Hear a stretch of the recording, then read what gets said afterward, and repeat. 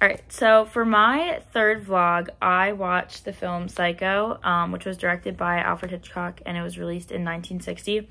And it's about this girl named Marion who steals money from her job and then goes on the run.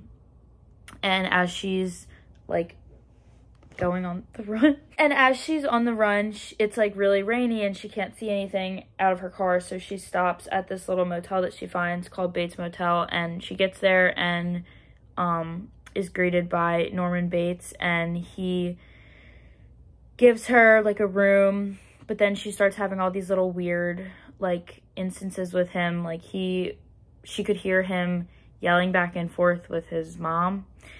And then like he made her food and like watched her eat it and there were just all these like weird little uncomfortable instances. And then finally she's like in her room and she goes to take a shower and then gets murdered. So after she dies in the shower then the rest of the film focuses on um her sister and her boyfriend that are looking for her and they basically find out that like Norman's mom wasn't actually, well, she was there, but she wasn't alive. And he basically was like dressed up as her to kill Marion and, and was like kind of, you know, talking back and forth with his mom, but it was really just himself. So some of the terms that we learned about that um, were used in uh, Psycho, one was omniscient point of view um, because it wasn't just off of one character's point of view. Like, we got to see, like, Norman, we got to see Marion, and then we got to see the sister and the boyfriend's point of view. Like, also, like, it just was someone that was kind of showing the story, not directly telling it themselves. Um, and then another term um, that was used um, was the long take. Um, and this was not used um, often in the film Psycho um, because Psychos was like very well known for its like editing and there wasn't like many like long shots. But um, there was one and it was when she was driving like on the run away before she found the hotel. Um, and it's her driving and especially because of like the rain and, and the headlights and she couldn't really see anything. So this was like a good use of the long take.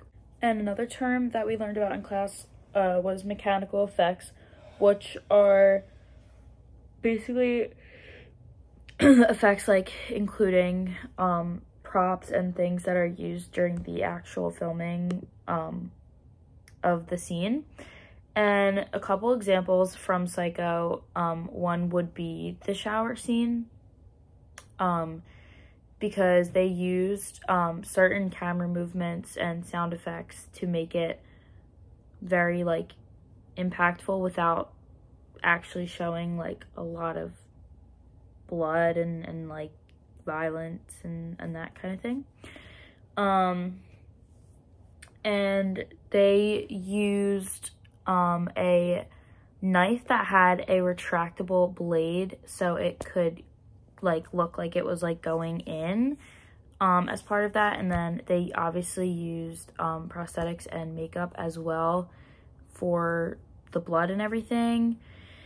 Um, and then another example of mechanical effects in the film was at the end when it's revealed that Norman had like his dead mother at the motel. Um, obviously it wasn't an actual dead person. And in order to like make the actual mummy, they used um, a human-sized doll with bandages and then they added wig, glasses, um, all that kind of stuff to make it look a little more real. And another term from the 60s that we learned about was optical effects. And um, those were also used throughout the film and they were also used um, in the scene where Marion is killed. And I was, when I was reading about it, I read about the, like, the optical effect example when she, um, reaches her hand out and grabs the shower curtain.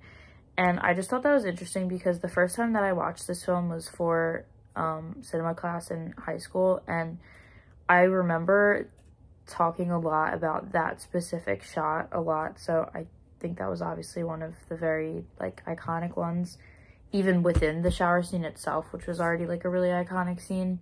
Overall, I really liked this film and I'm really glad that I got to watch it again because um like I said, I watched it for cinema class in high school, but I honestly didn't remember a lot of the important like elements of it and my cinema class wasn't as in depth as this one. So like rewatching it again with all these new terms and looking for them within it made me kind of like appreciate it more.